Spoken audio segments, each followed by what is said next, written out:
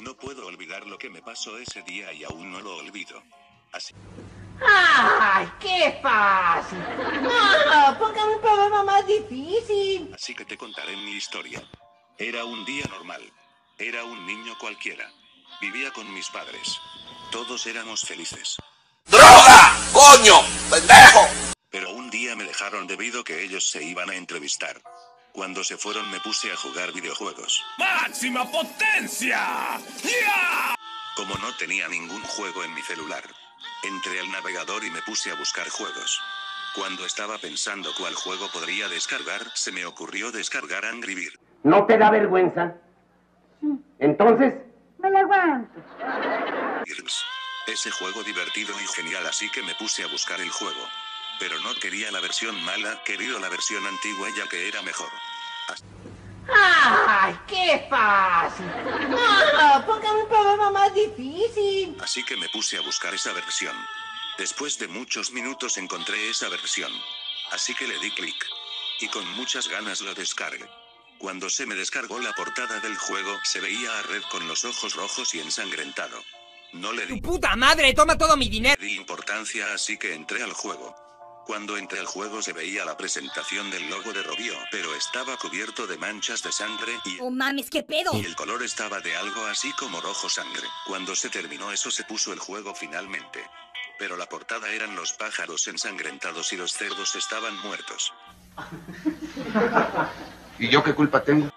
Entré al nivel 1. Pero antes que jugaran me apareció una cinemática donde los pájaros estaban golpeando muy brutalmente a los cerdos.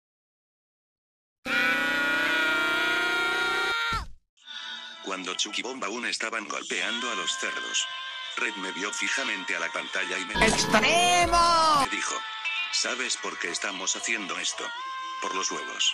El rey cerdo tiene los huevos. Por eso estamos haciendo esto. Me siento estafado. golpeándolos y matándolos. ¿Quieres que te pase lo mismo que a los cerdos? Cuando Red me dijo esto, yo le dije, porque estás matando a los cerdos. Y de una manera grosera me dijo, tú cállate hijo de puta. ¡Que se armen los putazos! Lo hago porque se me da la gana cabrón. ¡Eso te pasa por zorra! Cuando oí esas palabras yo le dije, los cerdos no son malos. Aunque me volvió a responder de una manera grosera. Me vale verga lo que me dices. Ya cabrón, hable bien. Ah, cierto, ahora se viene lo bueno. Después apareció el rey cerdo y respondió algo nervioso. Bien, llévate los huevos, no me mates. Y Red dijo, ya es muy tarde. Esto no era parte del trato. Después sacó un cuchillo y le empezó a apuñalar a Rey Cerdo. Le sacó los órganos y las tripas. Yo no quería ver cómo sufría el Rey Cerdo. Así que con mucho miedo tiré el celular de la ventana y después me desmayé. Alan, qué pendejada hiciste. Desperté estaba en un hospital y ahí estaban mis padres y el doctor me quitó la vena que yo tenía y cuando me la quito tenía el número 666 con ¿No te da vergüenza? Entonces, me la aguanto. sangre así que me dije.